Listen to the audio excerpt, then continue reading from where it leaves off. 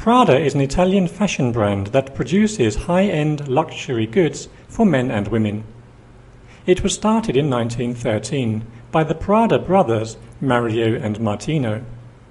They opened a leather goods store in Milan, Italy, specializing in handbags, suitcases and trunks.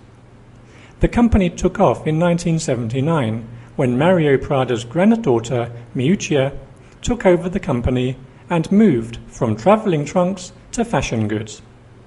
She opened stores in fashionable areas all across Europe.